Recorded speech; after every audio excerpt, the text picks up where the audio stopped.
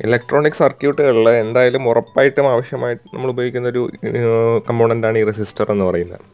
അപ്പോൾ ഈ റെസിസ്റ്ററിന്റെ ഉപയോഗിക്കുമ്പോൾ റെസിസ്റ്റർ എന്താണെന്നുള്ള കഴിഞ്ഞ വീഡിയോയിൽ പറഞ്ഞു. അപ്പോൾ ഈ റെസിസ്റ്ററിന്റെ വാല്യൂ നമുക്ക് എങ്ങനെ കണ്ടുപിടിക്കുക എന്നുള്ളതാണ് ഇപ്പോൾ നോക്കുന്നത് വളരെ എളുപ്പമുള്ളൊരു കാര്യമുണ്ട്. കാരണം ഇതിൽ വാല്യൂ എഴുതിയിട്ടുണ്ടാവില്ല ഇത് ഹാഫ് വാട്ട് റെസിസ്റ്ററാണ് ഹാഫ് വാട്ട് ഹാഫ് വാട്ട് റെസിസ്റ്ററാണ് അപ്പോൾ ഈ റെസിസ്റ്ററിനെ നമ്മൾ വാല്യൂ കണ്ടുപിടിക്കണമെന്നുണ്ടെങ്കിൽ നമ്മൾ കളർ കോഡിങ്ങാണ് ഉപയോഗിക്കുക അതിപ്പം എങ്ങനെയാണെന്ന് ചോദിച്ചു കഴിഞ്ഞാൽ നമ്മളിപ്പോൾ ഈ ഒരു റെസിസ്റ്റർ എടുത്തു കഴിഞ്ഞ് കഴിഞ്ഞാൽ ആ റെസിസ്റ്റർ ശ്രദ്ധിച്ചു കഴിഞ്ഞ് കഴിഞ്ഞാൽ ഒരു കാര്യം മനസ്സിലാവും.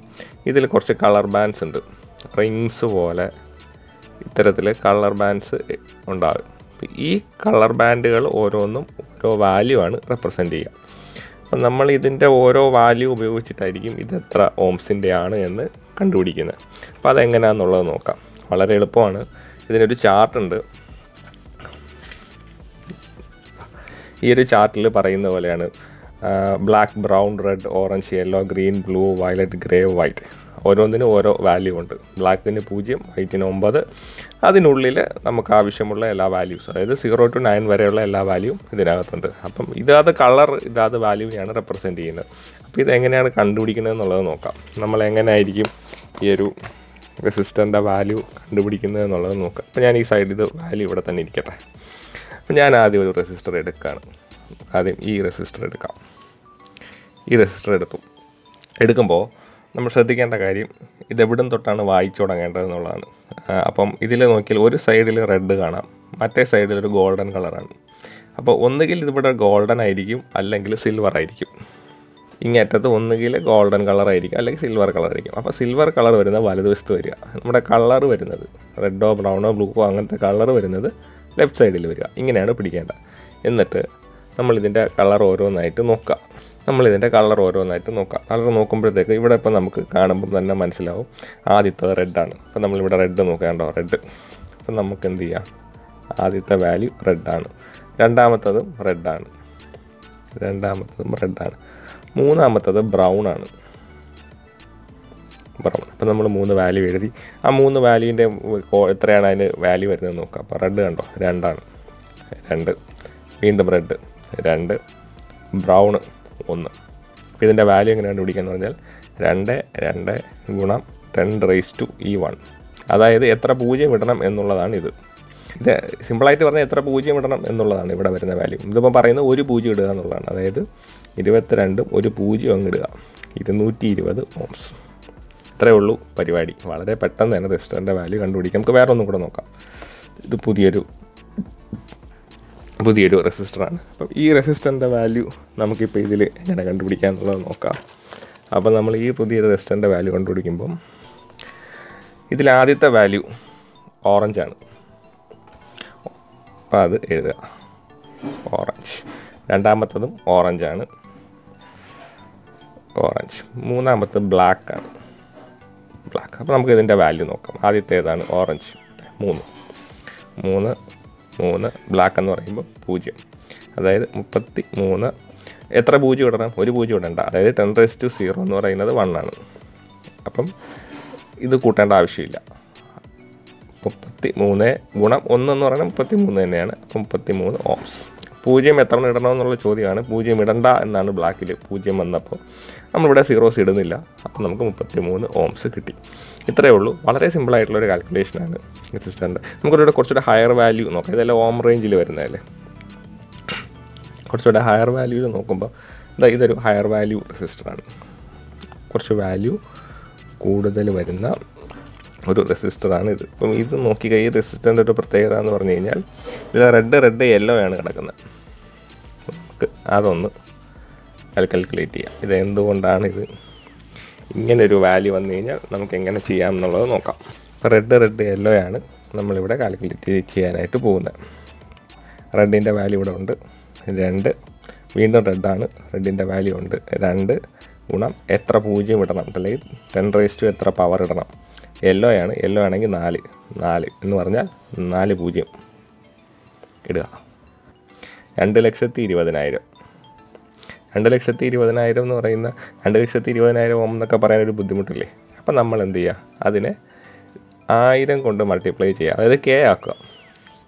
കിലോ ആക്കാനായിട്ട് ആയിരം കൊണ്ട് ഡിവൈഡ് ചെയ്ത് കഴിഞ്ഞാൽ മൾട്ടിപ്ലിക്കേഷൻ എന്നാണ് പറഞ്ഞത് കേട്ടോ. സോറി ഡിവൈഡ് ചെയ്യേണ്ടതാണ്. തെറ്റാർക്കും പറ്റും. ഓക്കെ ഡിവൈഡ് ചെയ്യുക. ഡിവൈഡ് ചെയ്യുമ്പോൾ മൂന്ന് പൂജ്യം മൂന്ന് പൂജ്യം വെട്ടി കളഞ്ഞു കഴിഞ്ഞാൽ ടു ട്വന്റിന്ന് കിട്ടും. അപ്പം ടു ട്വന്റി കിലോ ഓംസ് ഇങ്ങനെയായിരിക്കും നമ്മൾ വിളിക്കുക. ഇത് കെ ആണ്. ഇരുന്നൂറ്റി ഇരുപത് കെ ആണ്. ഇരുന്നൂറ്റി ഇരുപത് കിലോ ഓംസ് ആണ് ഈ റെസിസ്റ്റർ എന്ന് പറയുന്നത്. അതുപോലെ നമുക്ക് മറ്റൊരു ഹയർ വാല്യൂ റെസിസ്റ്റർ നോക്കാം. ഇവിടെ ഒരു ഹയർ വാല്യൂ റെസിസ്റ്റർ ഉണ്ട്. ഇതേ ഇതിൽ തന്നെ നമുക്ക് അതിന്റെയും കൂടെ കാൽക്കുലേഷൻ നോക്കാം. അപ്പോൾ അതിന്റെ കാൽക്കുലേഷൻ വരുമ്പോൾ നമ്മൾ ശ്രദ്ധിക്കേണ്ടത്. ഇതേ വിലയാണ്. ആദ്യം പക്ഷേ ഇതിൽ ആദ്യം ബ്രൗൺ ആണ്. രണ്ടാമത് ബ്ലാക്ക് ആണ്. പൂജ്യം. മൂന്നാമത് യെല്ലോ അതായത് നാല് പൂജ്യം. യെല്ലോ എന്ന് പറയുന്നത് നാലാണ്. നാല് പൂജ്യം ഇടണം. ഇവിടെയും വലിയ വാല്യൂ വന്നു. നമുക്ക് കെ ആക്കണം. മൂന്ന് പൂജ്യം മൂന്ന് പൂജ്യം പോയി കഴിഞ്ഞാൽ നൂറ് കിലോ ഓംസ് ഇത്രയേ ഉള്ളൂ പരിപാടി. അപ്പോൾ റെസിസ്റ്ററിന്റെ കളർ കോഡിംഗ് വെച്ചിട്ട് വാല്യൂ കണ്ടുപിടിക്കുന്നത് ഇങ്ങനെയാണ്. ഇനി നമ്മളിതിൽ നോക്കാതെ കിടക്കുന്ന അവസാനത്തെ ഒരു ബാൻഡ് ഉണ്ട് ഗോൾഡ് പിന്നെ ഒരു കളർ അതിൽ ചിലപ്പോൾ സിൽവർ വരും. ഇപ്പോൾ ഞാനിപ്പോൾ ഈ എടുത്തിരിക്കുന്ന എല്ലാ റെസിസ്റ്ററിലും ഗോൾഡാണ് വന്നിരിക്കുന്നത്. അതിൽ സിൽവർ ഒന്നിലും വന്നിട്ടില്ല. ശരി ചില റെസിസ്റ്ററുകളിൽ സിൽവർ വരും. ചില റെസിസ്റ്ററുകളിൽ ഗോൾഡാണ് വരുന്നത്. ഗോൾഡ് അല്ലെങ്കിൽ സിൽവർ എന്ന് പറയുന്നത് ടോളറൻസ് ആണ്. ഓക്കെ ഈ കളർ കോഡിങ് ചെയ്യുമ്പോൾ നമുക്ക് അവസാനത്തെ ഒരു ബാൻഡും കൂടെ ഇതിന് ഈ റെസിസ്റ്ററിന് ഉണ്ടായിരിക്കും. ലാസ്റ്റിലത്തെ ഒരു ബാൻഡ് ലാസ്റ്റിലത്തെ ഒരു ബാൻഡ് നമ്മൾ ശ്രദ്ധിച്ചാൽ അതൊരു ഗോൾഡ് അല്ലെങ്കിൽ സിൽവർ കളറിന്റെ ഒരു ലൈനായിരിക്കും ഇതിൽ അവസാനത്തെ ഇത് വരുന്ന അവസാനത്തെ ബാൻഡിൽ വരിക. അപ്പോൾ എന്താണ് ഈ അവസാനത്തെ ഗോൾഡ് അല്ലെങ്കിൽ ഈ സിൽവർ കൊണ്ട് ഉദ്ദേശിക്കുന്നത് എന്നുള്ളതും കൂടെ നോക്കാം. അപ്പോൾ നമുക്കിവിടെ ഇപ്പോൾ ഒരു ഹൺഡ്രഡ് ഓം എന്ന് പറയുന്ന റെസിസ്റ്റർ ഉണ്ട്. അതിൽ ഗോൾഡാണ് അതിന്റെ അവസാനത്തെ ബാൻഡ് വരുന്നതെന്നുണ്ടെങ്കിൽ ഗോൾഡിന്റെ അർത്ഥം അഞ്ച് ശതമാനം എന്നാണ്. അഞ്ച് ശതമാനം ടോളറൻസ് ആണ്. അതായത് ഇപ്പോൾ ഈ നൂറ് കിലോ ഓം എന്ന് പറഞ്ഞ് നമ്മൾ എഴുതിയാലും ഇതിൽ എക്സാക്റ്റ് വാല്യൂ ആയിരിക്കത്തില്ല. ഈ നൂറ് കിലോ ഓം എന്ന് പറയുന്ന വാല്യൂ കൃത്യമായിട്ടായിരിക്കില്ല റെസിസ്റ്ററിന്റെ വാല്യൂ അതിലൊരു വേരിയേഷൻ വരാം. അത് നമുക്ക് കൃത്യമായ അളവിലല്ല അത് മാനുഫാക്ചർ ചെയ്യുക. ഇതുപോലുള്ള ഇത് കുറഞ്ഞ റെസിസ്റ്ററാണ് ഇത്തരം റെസിസ്റ്ററുകളിൽ ഒരു വേരിയേഷൻ ഉണ്ടാവും. അപ്പോൾ ആ വേരിയേഷൻ എത്രയാണ് എന്നുള്ളതാണ് ഈ ഗോൾഡ് അല്ലെങ്കിൽ സിൽവർ എന്ന് പറയുന്ന കളർ കൊണ്ട് ഉദ്ദേശിക്കുന്നത്. അപ്പം അവർ പറയുന്നത് ഗോൾഡ് കളർ ഇടുന്നതിലൂടെ റെപ്രസെന്റ് ചെയ്യുന്നത് അഞ്ച് ശതമാനം വരെ ടോളറൻസ് അതായത് വേരിയേഷൻ ഉണ്ടാവാം. അതായത് ഈ നൂറിന്റെ അഞ്ച് ശതമാനം എടുക്കാം. നൂറിന്റെ അഞ്ച് ശതമാനം നമ്മൾ അങ്ങനെ കാണും. നൂറേ ഗുണം അഞ്ച് ബൈ നൂറ്. നൂറ് നൂറും പോയി കഴിഞ്ഞാൽ അഞ്ച് കിട്ടും. അപ്പോൾ അഞ്ചെന്ന് പറയുന്നതാണ് നൂറിന്റെ അഞ്ച് ശതമാനം എന്ന് പറയുന്നത്. ഈ അഞ്ച് കുറയാനും കൂടാനും ചാൻസ് ഉണ്ട് അതായത് നൂറിൽ നിന്നും ആദ്യം അഞ്ച് കുറയ്ക്കുക. അപ്പം നമുക്ക് തൊണ്ണൂറ്റഞ്ച് കിട്ടും. നൂറിൽ നിന്നും അഞ്ച് കൂട്ടുക. അപ്പം നമുക്ക് നൂറ്റി അഞ്ച് കിട്ടും. അപ്പം ഇത് പറയുന്നത് ഇങ്ങനെയാണ്. ഈ റെസിസ്റ്റ് പർട്ടിക്കുലർ നൂറ് കിലോ ഓമിന്റെ റെസിസ്റ്റർ എടുത്തു കഴിഞ്ഞാൽ ഗോൾഡാണ് അതിന്റെ ലാസ്റ്റ് ബാൻഡ് വരുന്നതെങ്കിൽ ഈ റെസിസ്റ്ററിന്റെ വാല്യൂ തൊണ്ണൂറ്റി അഞ്ച് കിലോ ഓം മുതൽ നൂറ്റി അഞ്ച് കിലോ ഓം ഇതിനുള്ളിലായിരിക്കും ഇതിന്റെ വാല്യൂ അത് തൊണ്ണൂറ്റഞ്ചാവാം അത് നൂറ്റി അഞ്ചാവാം അത് നൂറാവാം തൊണ്ണൂറ്റാറാവാം തൊണ്ണൂറ്റേഴാവാം ഇതിനകത്തുള്ള ഏത് വാല്യൂ വേണോ ആകാം. എന്നുള്ളതാണ് ഈ പറയുന്ന വാല്യൂ കൊണ്ട് റെപ്രസെന്റ് ചെയ്യുന്നത്. നമ്മുടെ ചെറിയ ചെറിയ സർക്യൂട്ടുകളൊക്കെ അല്ലെങ്കിൽ നമ്മൾ സാധാരണ കാണുന്ന ഇലക്ട്രോണിക് സർക്യൂട്ടുകളിലൊക്കെ ഈ പറയുന്ന ഒരു വ്യത്യാസം വലിയ ഇമ്പാക്റ്റ് ഉണ്ടാക്കത്തില്ല. അപ്പോൾ അതുകൊണ്ടാണ് ഈ ഒരു ടോളറൻസ് ഉണ്ടെങ്കിലും നമ്മൾ ഇത്തരം റെസിസ്റ്റേഴ്സ് നമ്മുടെ സർക്യൂട്ടിനകത്ത് ഉപയോഗിക്കുന്നത് പക്ഷേ ചില ഇതിപ്പോൾ മിലിറ്ററിയുടെ ആപ്ലിക്കേഷന് വേണ്ടിയിട്ടൊക്കെ ഉപയോഗിക്കും. നമുക്ക് ഹൈ പ്രിസിഷൻ വേണ്ടുന്ന സ്ഥലങ്ങളുണ്ട്. അതായത് ഇപ്പോൾ മെഡിക്കൽ എക്യുപ്മെന്റ്സ് അവിടെയൊക്കെ ഹൈ പ്രിസിഷൻ വേണം. അതുപോലെ ഈ ഐ എസ് ആർ ഒക്കെ ഉപയോഗിക്കുന്ന സ്പേസ് എക്സ്പ്ലോറേഷൻ വർക്കുകളിനകത്ത് അവരൊക്കെ പറയുമ്പോൾ അവിടെ റെസിസ്റ്ററിന്റെ ടോളറൻസ് എന്നൊരു വാല്യൂ പറയാൻ പറ്റത്തില്ല. അതിന് ഹൈ റെസിസ്റ്റൻസ് വേണം. സോറി ഹൈ കറക്റ്റ് വാല്യൂ വേണം. അതായത് അങ്ങോട്ടും ഇങ്ങോട്ടും മാറാൻ പറ്റത്തില്ല. മെഷർമെന്റ് കൃത്യമായിരിക്കണം. അങ്ങനെയുള്ള സാഹചര്യങ്ങളിൽ ഇത്തരം റെസിസ്റ്ററുകളല്ല ഉപയോഗിക്കുന്നത്. അവിടെ ഉപയോഗിക്കുമ്പോൾ പ്രിസിഷൻ റെസിസ്റ്റേഴ്സ് വേറെയുണ്ട് കോമൺ ആയിട്ട് നമ്മൾ സർക്യൂട്ടൊക്കെ ചെയ്യുമ്പോഴും അല്ലെങ്കിൽ നമ്മുടെ സാധാരണ ടി വി റേഡിയോ അങ്ങനെയൊക്കെയുള്ള ഇലക്ട്രോണിക്സ് ഉപകരണങ്ങൾക്കകത്തൊക്കെ നോക്കിക്കഴിഞ്ഞ് കഴിഞ്ഞാൽ ഇത്തരത്തിലുള്ള ഹാഫ് വാട്ടർ റെസിസ്റ്ററുകളാണ് കാരണം ഇതിന് വില കുറവാണ്. നമുക്ക് ചെറിയ വിലയ്ക്ക് കിട്ടും. അപ്പം കമ്പോണന്റിന്റെ വില കുറയുന്നതുകൊണ്ട് സാധനത്തിന്റെ വില കുറയും. അപ്പോൾ അത് മതി എന്നുള്ളത് കൊണ്ട് ഇതാണ് ഉപയോഗിക്കുക. ഹൈ പ്രിസിഷനിലേക്ക് പോകുമ്പം അതിന്റെ കോസ്റ്റ് കൂടുതലായിരിക്കും. അപ്പോൾ അത് അത്തരം എക്യുപ്മെന്റ്സിൽ അതിന് ആവശ്യമുള്ള ഉപകരണങ്ങളിലും വേണ്ടി മാത്രമേ ഉണ്ടാവുള്ളൂ. ഇനി ഗോൾഡിന്റെ സ്ഥാനത്ത് സിൽവർ വന്നാലോ? അത് പത്ത് ശതമാനമാണ്. അപ്പോൾ എന്ത് ചെയ്യും? ഈ അഞ്ചിന്റെ സ്ഥാനത്ത് പത്ത് ഇടുക. അപ്പോൾ നമുക്ക് ഇതിൽ മുതൽ പത്തെന്ന് കിട്ടും. അതായത് തൊണ്ണൂറ് മുതൽ നൂറ്റിപ്പത്ത് വരെ എന്നൊരു വാല്യൂ കിട്ടും. ഇത്രയേ ഉള്ളൂ. വളരെ സിമ്പിളാണ് റെസിസ്റ്ററിന്റെ വാല്യൂ കണ്ടുപിടിക്കുക എന്ന് പറയുന്നത്. ഇതിനൊരു എളുപ്പ വഴിയും കൂടെ ഉണ്ട്. ഇപ്പോൾ ഈ ഓർഡർ നമ്മൾ നോക്കിക്കഴിഞ്ഞ് കഴിഞ്ഞാൽ ആ ഓർഡറിൽ ഒരു കാര്യം ശ്രദ്ധിക്കാൻ മനസ്സിലാവും. നമുക്കൊരു കഥ പോലെ വായിക്കാം. ഒരു സെന്റൻസ് പോലെ വായിക്കാൻ പറ്റും. നമ്മൾ ആ ഫസ്റ്റ് ലെറ്റേഴ്സ് മാത്രം എടുത്തു കഴിഞ്ഞ് കഴിഞ്ഞാൽ.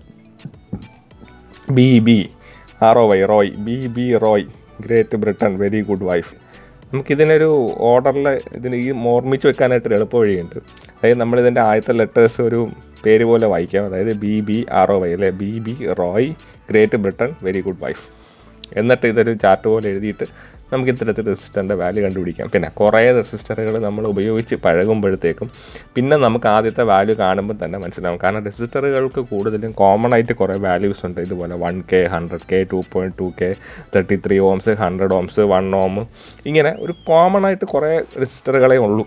അങ്ങനെ ഒരുപാട് റെസിസ്റ്ററുകളൊന്നുമില്ല. അപ്പോൾ അങ്ങനെ ഉള്ളത് കൊണ്ട് നമുക്ക് എന്ത് ചെയ്യും? കുറേ നമ്മൾ പ്രാക്ടീസ് ചെയ്ത് കഴിഞ്ഞാൽ പിന്നെ ഈ ചാർട്ടിന്റെ ഒന്നും ആവശ്യമില്ല. നമുക്ക് റെസിസ്റ്റർ കാണുമ്പോൾ തന്നെ പെട്ടെന്ന് മനസ്സിലാവും ഇതിന്റെ വാല്യൂ എത്രയാണെന്നുള്ളത്. അപ്പോൾ റെസിസ്റ്ററുകളെ പറ്റി കളർ കോഡിങ്ങിനെ പറ്റിയിട്ടുള്ള ക്ലാസ് ഇത്രയേ ഉള്ളൂ. നമുക്ക് അടുത്ത ക്ലാസ്സിൽ കപ്പാസിറ്ററുകളെ പറ്റിയിട്ടും ബാക്കിയുള്ള ഇലക്ട്രോണിക്സ് കമ്പോണന്റുകളെ പറ്റിയിട്ടും പഠിക്കാം.